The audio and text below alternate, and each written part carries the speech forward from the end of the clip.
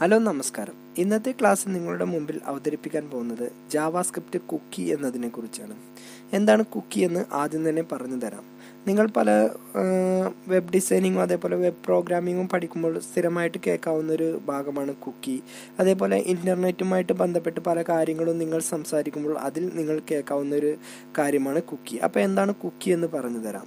ഒരു വെബ്സൈറ്റ് ഉപയോഗിക്കുമ്പോൾ ആ യൂസറെ തിരിച്ചറിയാൻ വേണ്ടി യൂസറിന്റെ സൈഡിൽ സൈഡിലെ ബ്രൗസറിൽ അതായത് നമ്മൾ ഉപയോഗിക്കുന്ന കമ്പ്യൂട്ടറിലെ ബ്രൗസറിൽ സേവ് ചെയ്ത് വെക്കുന്ന ചെറിയ വിവരങ്ങളെയാണ് നമ്മൾ കുക്കി എന്ന് പറയുന്നത്.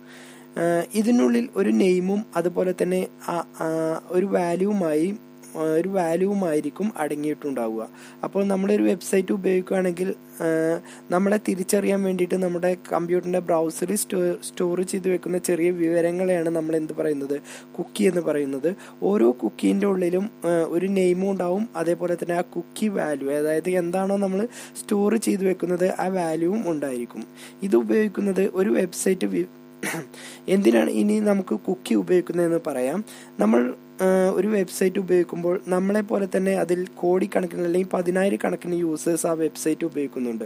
അപ്പോൾ ഈ ഓരോ യൂസേഴ്സിനും നമ്മുടെ കമ്പ്യൂട്ടറിന് തിരിച്ചറിയാനും അത് മനസ്സിലാക്കി വെക്കാനും വേണ്ടിയാണ് നമ്മുടെ കമ്പ്യൂട്ടറിലെ ഒരു കുക്കി ഉപയോഗിക്കുന്നത്. ഇപ്പോൾ നമ്മളൊരു എക്സാമ്പിൾ ഒരു വെബ്സൈറ്റിലേക്ക് കയറുകയാണെങ്കിൽ മറ്റു യൂസേഴ്സിൽ നിന്നും നമ്മളെ തിരിച്ചറിയാൻ ആ വെബ്സൈറ്റ് ഉപയോഗിക്കുന്നത് നമ്മുടെ കമ്പ്യൂട്ടറിൽ സ്റ്റോർ ചെയ്ത് വെച്ചിരിക്കുന്ന അതായത് നമ്മുടെ ബ്രൗസറിനുള്ളിൽ സ്റ്റോർ ചെയ്ത് വെച്ചിരിക്കുന്ന വിവരങ്ങളാണ് ആ കമ്പ്യൂട്ടറിന് നമ്മളെ ആ വെബ്സൈറ്റിന് നമ്മളെ തിരിച്ചറിയാൻ വേണ്ടിയിട്ടുള്ള അടയാ അടയാളവാക്യങ്ങൾ. അതായത് എക്സാമ്പിൾ നമ്മൾ ഗൂഗിളിൽ പോയിട്ട് ഏതെങ്കിലും ഒരു പ്രൊഡക്റ്റിന്റെ പേര് നമ്മൾ ഗൂഗിൾ സെർച്ച് ചെയ്യുകയാണെങ്കിൽ പിന്നീട് നമ്മൾ ഏത് വെബ്സൈറ്റിൽ കയറി നോക്കുകയാണെങ്കിലും നമുക്ക് ആ സെർച്ച് ചെയ്ത പ്രൊഡക്റ്റിനോടനുബന്ധിച്ച് വരുന്ന പരസ്യങ്ങളായിരിക്കും നമുക്ക് പല വെബ്സൈറ്റുകളിലും കാണിച്ചു തരിക. എക്സാമ്പിൾ നമ്മളൊരു ഫോണിന്റെ വിവരങ്ങളാണ് നമ്മൾ ഗൂഗിൾ ഉപയോഗിച്ച് സെർച്ച് ചെയ്തതെങ്കിൽ പിന്നീട് ഏത് വെബ്സൈറ്റിൽ നമ്മൾ കയറുകയാണെങ്കിലും ആ ഫോണുമായിട്ട് ബന്ധപ്പെട്ട പരസ്യങ്ങളായിരിക്കും നമുക്ക് കാണിച്ചു തരിക. ഇതൊക്കെ കുക്കി ഉപയോഗിച്ചിട്ട് ചെയ്യാവുന്ന ഒരു പ്രത്യേകതകളാണ്. അതായത് നമുക്ക് നമ്മുടെ ഇഷ്ടം എന്ന് പറയുന്നത് ഇന്ന ഫോണാണ്. അപ്പോൾ അതുമായിട്ട് ബന്ധപ്പെട്ട പരസ്യങ്ങൾ നമുക്ക് ഗൂഗിൾ ആഡ്സെൻസ് ഉപയോഗിച്ചിട്ട് നമുക്ക് കാണിച്ചു തരുന്നു. ഓക്കെ അപ്പോൾ ജാവാസ്ക്രിപ്റ്റ് ഉപയോഗിച്ചിട്ട് കുക്കി ക്രിയേറ്റ് ചെയ്യാനും അതേപോലെ തന്നെ റീഡ് ചെയ്യാനും ഡിലീറ്റ് ചെയ്യാനും കഴിയാം. അപ്പോൾ നമുക്ക് കുക്കി ഉപയോഗിച്ചിട്ട് ഒരു എക്സാമ്പിൾ ചെയ്ത് നോക്കാം. ഓക്കെ കുക്കി നമ്മൾ സാധാരണ ചെയ്യുന്ന രൂപത്തിൽ തന്നെ എച്ച് ടി എമ്മിൽ വെച്ചിട്ടാണ് ഞാനിപ്പോൾ കുക്കി ചെയ്യുന്നത്. അപ്പോൾ നമ്മൾ ഇതുവരെ ജാവാസ്ക്രിപ്റ്റ് ഫയലിലാണ് ചെയ്തിരുന്നത്. ഇനി ചെയ്യുന്നത് ഞാൻ എച്ച് ടി എം എൽ എന്ന ഫയലിലേക്കായിട്ട് ഞാൻ മാറുന്നുണ്ട്. ഓക്കെ ആദ്യം തന്നെ നമുക്കിവിടെ വന്ന് എച്ച് ടി എം എൽ വെച്ച് തുടങ്ങാം. അതിനുശേഷം ഞാനിവിടെ ഒരു ബട്ടൺ ക്രിയേറ്റ് ചെയ്യുകയാണ്. ഓക്കെ. ബട്ടന്റെ ടൈപ്പ് നമ്മളിവിടെ വന്ന് സബ്മിറ്റ് ആണ് ചേർത്ത് കൊടുക്കുന്നത്. ഓക്കെ. അതേപോലെ തന്നെ ഈ ബട്ടണ് നമ്മളൊരു ഓൺ ക്ലിക്ക് നമ്മളിവിടെ ചേർത്ത് കൊടുക്കുന്നുണ്ട്. ഓൺ ക്ലിക്ക് അതായത് നമ്മൾ ഏത് ഫംഗ്ഷനാണോ ഉപയോഗിക്കുന്നത് ആ ഫംഗ്ഷന്റെ പേരാണ് നമ്മൾ ഓൺ ക്ലിക്കായിട്ട് ചേർത്ത് കൊടുക്കുന്നത്. അപ്പോൾ ഞാൻ ഗെറ്റ് കുക്കി എന്ന് ഞാനിവിടെ ഫംഗ്ഷന്റെ പേരായിട്ട് ഞാനിവിടെ ചേർത്ത് കൊടുക്കുന്നുണ്ട്. ഓക്കെ ഇത്രയും ചെയ്തതിന് ശേഷം നമുക്ക് സ്ക്രീനിൽ എന്ത് മെസ്സേജ് ആണോ ഡിസ്പ്ലേ ചെയ്യേണ്ടത് അത് നമുക്കിവിടെ ഡിസ്പ്ലേ ചേർത്ത് കൊടുക്കാം. അപ്പം ഞാനിതിൽ സെറ്റ് കുക്കി എന്ന് ഫംഗ്ഷന്റെ പേരും അതേപോലെ സ്ക്രീനിൽ നമുക്ക് സെറ്റ് കുക്കി എന്ന മെസ്സേജ് ഡിസ്പ്ലേ ചെയ്യേണ്ട രൂപത്തിലേക്കായിട്ട് ഞാനിത് ചെയ്തു കൊടുത്തു. ഓക്കെ അവിടെ നമ്മൾ ആ ബട്ടൺ അവിടെ അവസാനിപ്പിക്കുകയും ചെയ്തു. ഇതേപോലെ തന്നെ നമ്മളിതിപ്പോൾ സെറ്റ് ചെയ്യുകയാണ് ചെയ്തത്. ഇതേപോലെ തന്നെ നമുക്ക് ഗെറ്റ് ചെയ്യേണ്ട ഒരു കമാൻഡ് കൂടി നമുക്കിവിടെ ചേർത്ത് കൊടുക്കാം. അപ്പോൾ ഗെറ്റ് നേരത്തെ സെറ്റ് ആണെങ്കിൽ ഇതിന് നമ്മൾ ഗെറ്റ് എന്ന് ചേർത്ത് കൊടുത്തു.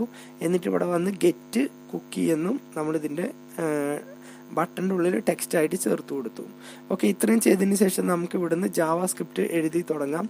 അപ്പോൾ ജാവ എച്ച് ടി എമ്മിന്റെ ഉള്ളിൽ നമ്മൾ ജാവ സ്ക്രിപ്റ്റ് ഉപയോഗിക്കണം എന്നുണ്ടെങ്കിൽ സ്ക്രിപ്റ്റ് എന്ന കീവേഡ് സ്ക്രിപ്റ്റ് എന്ന ടാഗ് ഉപയോഗിച്ചു. അതിന്റെ ഉള്ളിൽ നമ്മൾ ആദ്യം തന്നെ ഒന്നാമത്തെ ഫംഗ്ഷന് നമ്മൾ ക്രിയേറ്റ് ചെയ്തു.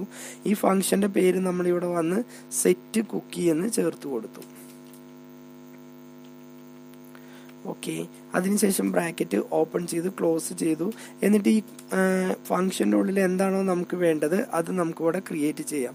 അപ്പോൾ നമ്മളൊരു ഒരു കുക്കി ക്രിയേറ്റ് ചെയ്യാൻ വേണ്ടി നമ്മൾ ഉപയോഗിക്കുന്നത് ഡോക്യുമെന്റ് ഡോട്ട് കുക്കി എന്ന് ചേർത്ത് കൊടുക്കുക.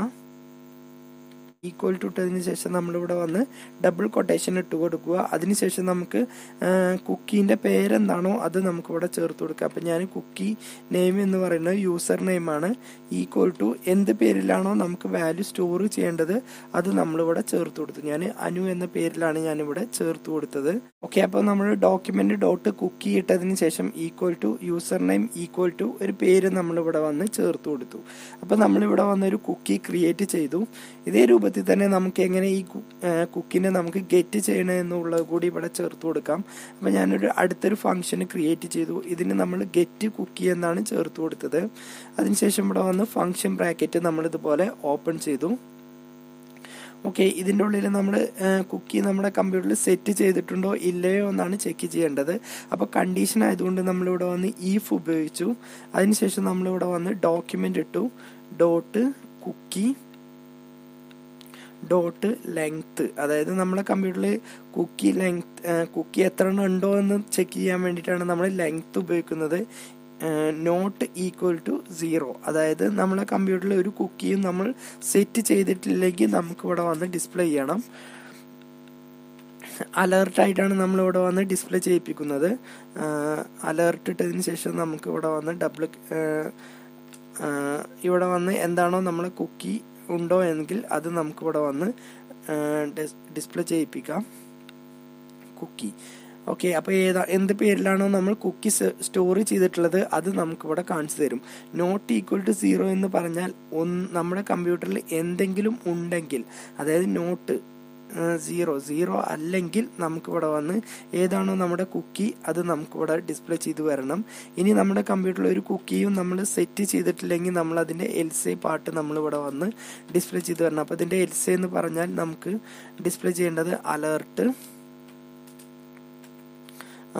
ഇവിടെ വന്ന് കുക്കി ഈസ് എന്താണോ നമുക്ക് എൽസയിൽ എന്താ കുക്കി ഇല്ലെങ്കിൽ നമുക്ക് എന്ത് മെസ്സേജ് പ്രിന്റ് ചെയ്യണമെന്ന് ഇവിടെ ടൈപ്പ് ചെയ്ത് കൊടുക്കാം. കുക്കി ഈസ് നോട്ട് അവൈലബിൾ എന്നോ എന്താണോ നമുക്ക് വേണ്ടത് അത് നമുക്കിവിടെ ടൈപ്പ് ചെയ്ത് കൊടുക്കാം. ഓക്കെ. ഇത്രയും ചെയ്തതിന് ശേഷം നമുക്കിതൊന്ന് റണ്ണ് ചെയ്യിപ്പിച്ച് നോക്കാം. അപ്പോൾ സേവ് ചെയ്തു. റണ്ണ് ചെയ്യണമെന്നുണ്ടെങ്കിൽ നമ്മളിവിടെ വന്ന് റൈറ്റ് ക്ലിക്ക് ചെയ്തതിന് ശേഷം ഇവിടെ വന്ന് ഓപ്പൺ വിത്ത് ലൈവ് സെർവറിൽ ക്ലിക്ക് ചെയ്ത് കൊടുത്താൽ മതി. അപ്പോൾ നമ്മുടെ കമ്പ്യൂട്ടറിൽ ബ്രൗസർ ഓപ്പൺ ചെയ്ത് ഇത് റണ്ണ് ചെയ്തു വരും. ഓക്കെ ഇതിൽ നമ്മൾ അധികം ഒന്നും കൊടുത്തിട്ടില്ല. രണ്ട് ബട്ടൺ കൊടുത്തു. ഒരു ബട്ടണിൽ സെറ്റ് കുക്കി എന്നും രണ്ടാമത്തെ ബട്ടൺ ഓക്കെ ഇത് നമുക്ക് റണ്ണ് ചെയ്ത് വന്നിട്ടുണ്ട്.